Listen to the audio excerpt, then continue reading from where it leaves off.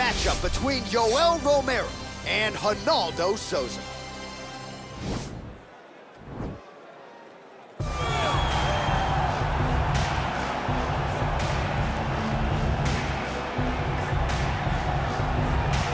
So here he is, the number one middleweight contender, getting set for this 185-pound title fight. He believes this title shot should have come a long time ago, but he has let bygones be bygones. The focus now, unseating the champion in dominant fashion and starting a new middleweight legacy of his own. 25 minutes or fewer away from becoming the new champion. We will see how he performs tonight.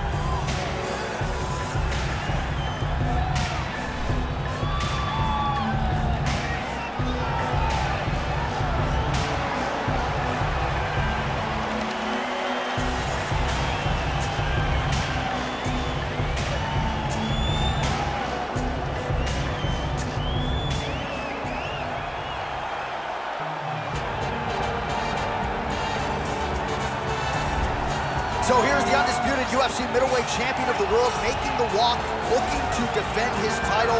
It is certainly something that he's been able to do in the past. He has been challenged on this title run. It's not as though he has run roughshod through this division, but they're all still chasing him at 185 pounds tonight. At least on paper, could be his most difficult challenge to date.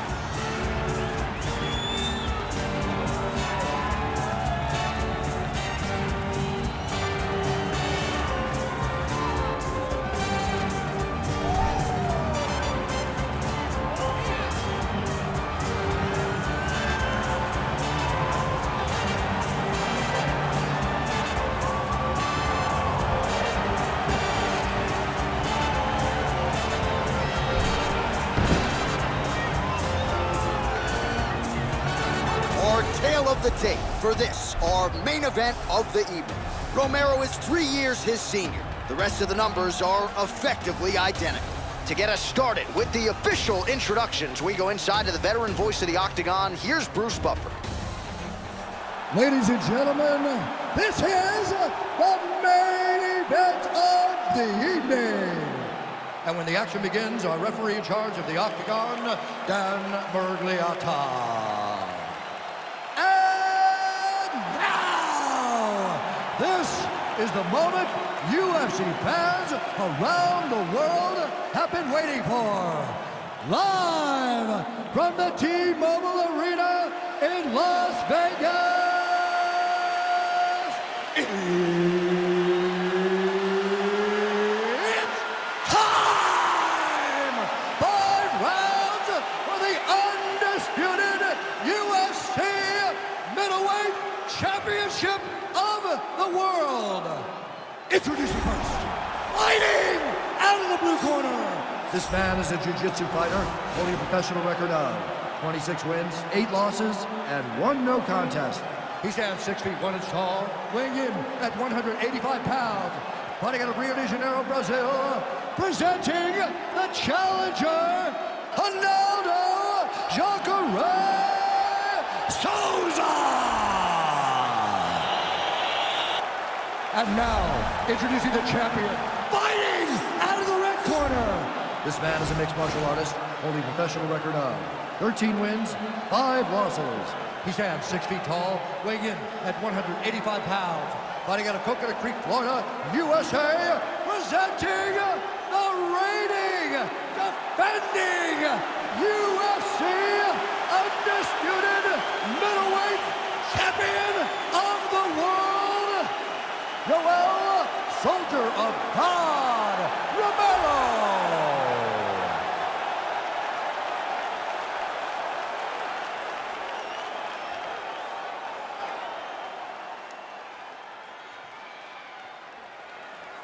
All right, this is for the UFC Championship. I want you to obey my commands at all times, protect yourself at all times. Want a nice, clean, safe fight. Touch gloves, back your corners, come out.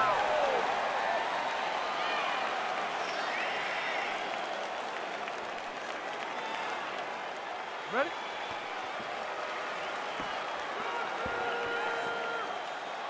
Ready?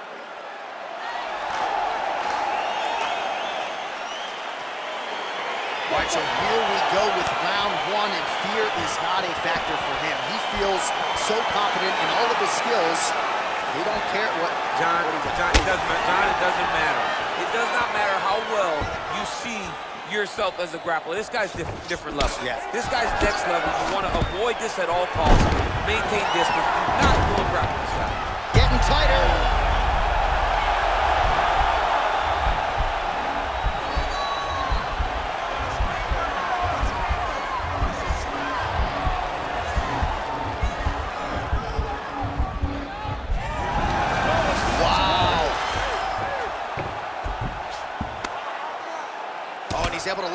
To land a strike there from the bottom. Nicely done by Jacare Souza there. Strong bottom work here, staying busy.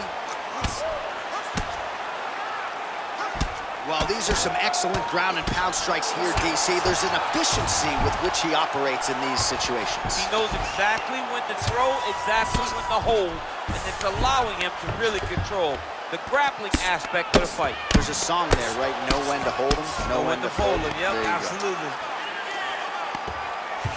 Under three minutes now to go in round one. Well, the ground and pound has been on point tonight. Good work here by Romero. He's putting him in exactly the positions he needs to be in right now. He's able to relax here. And he understands, being a veteran of so many fights, that as long as he's on top, he's winning. He feels like he's winning here. Oh, he's got the ground and pound going now.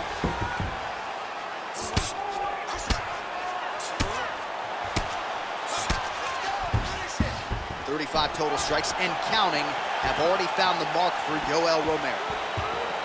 Beautiful diving strike lands. Man, is he timing his shots well here tonight, DC. It's hard to recall him being this accurate in the past. I mean, he is so sharp. And not only is he accurate, he's also keeping very busy. Well, pretty good work off of the bottom here by Romero. Jacare's looking to pass out of the half guard and attain side control here, but unable to do so. Well, we'll see if he postures up and can get some of his ground strikes going here. Romero's attempting to pass here, but he's denied by the defense.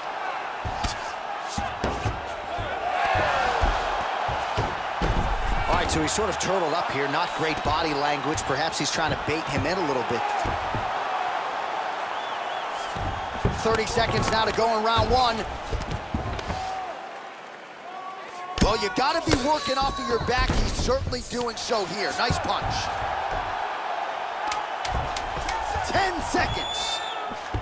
All right, so inside the open guard of his opponent. Got to be careful playing around for too long here on the ground with this guy. While we look back at some of the replays from that previous round, DC, a lot of good action for fight fans over those five minutes. I mean, high pace, high intensity, all action first round. Both landed multiple strikes. What a great round of fighting.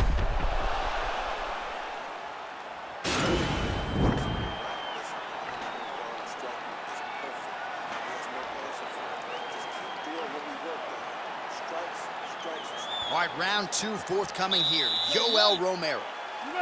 And that go, man, guys, fight. Jacare Souza. Just misses with the straight right. Huge connection by him there. He needs to get on his bicycle, John. He needs to get into space so that he doesn't get finished. Ah, that jab hurt him. Romero gets in the clinch. Right hand punch in the clinch. Effective punch there by Jacare Souza. Now goes in and secures the takedown. Fighter trying to pass here, but gets denied. Gets denied. Great job, great recognition of seeing what your opponent was trying to do. Working off of his back here. Looks like he may try to hip escape. Oh, nice job here staying busy off of his back. Nice offense from the bottom. Oh, Souza's looking to pass here, denied by the opponent. Oh, and he escapes up to his feet. Very nice. Just over three minutes now to go in round two. So as we call on the fight stats here, DC, 68 total strikes and counting have already found the mark for Yoel Romero. And pretty efficient as well, landing with 81% accuracy against Jacare Souza. Well, his corner was pretty urgent after round one. Little bit, that is a huge shot right there, DC. You don't want to eat too many more of those. No, and he needs to start looking to finish now because he's got his opponent hurt very bad. Nice one-two there. And now he's got that Thai clinch. We'll see what he can do with it. Under two minutes to go.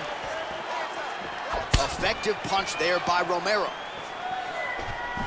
he's had a huge strike right there. I'm not sure how many more of these his opponent can take. Massive shot that he landed. Great job.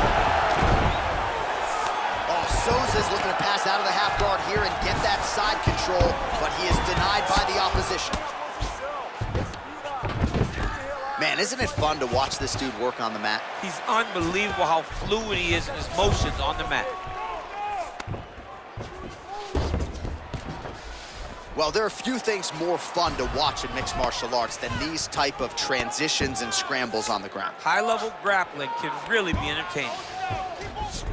Beautiful movement, hip work on the ground here, just outstanding with the transitions. He is not staying in one place on the ground, and that's very important.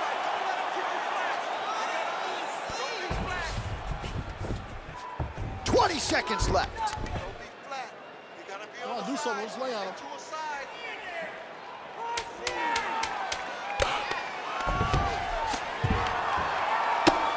I mean, how many can he take?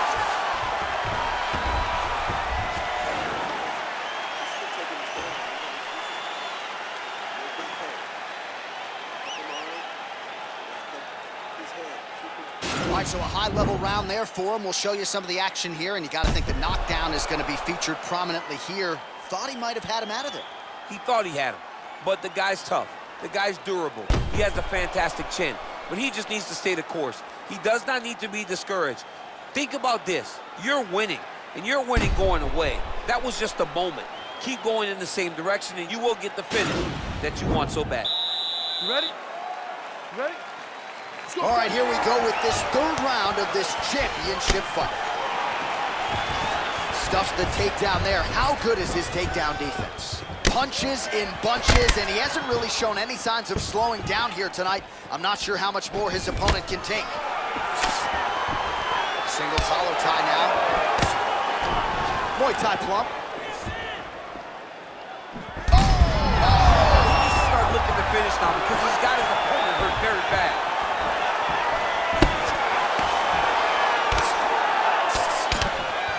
Battle for position here. Hip tosses him down. Now we'll see if he can advance position. I mean, right into side control. Well, anytime you are in a ground fighting situation with this fighter, you're potentially playing with fire. Well, you know he's comfortable fighting off his back. All right, bottom fighter here, maybe looking to hip escape, DC. Oh, nice work from the bottom. Tags him with the punch. Trying to isolate an arm, DC. He needs to move his hips back to cover. He cannot allow him on that angle. Oh! Continuing to try to manipulate the head here. Now he falls back into the finishing position.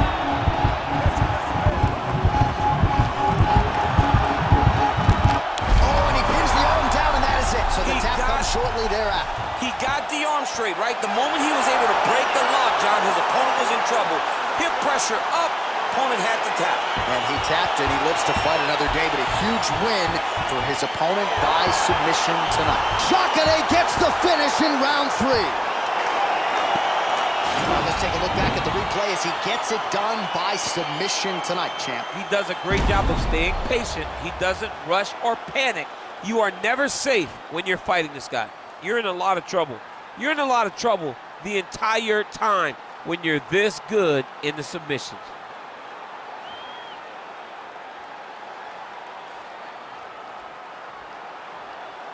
All right, so there's the man they're all chasing at 185 pounds, the undisputed UFC middleweight champion of the world, and the celebration is on after the big submission win here tonight. Ladies and gentlemen, referee Dan Miragliotta's going to stop this contest at 2 minutes, 12 seconds of the third round, declaring the winner by tap out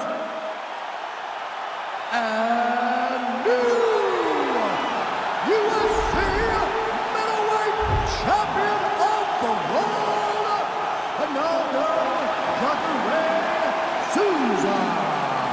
All right, So we got a new UFC middleweight champion, and this is a title that no one can ever take away from you. He's got a UFC belt at his home for the rest of his life. For the rest of his life. And they say it takes a village to build a champion. If you look behind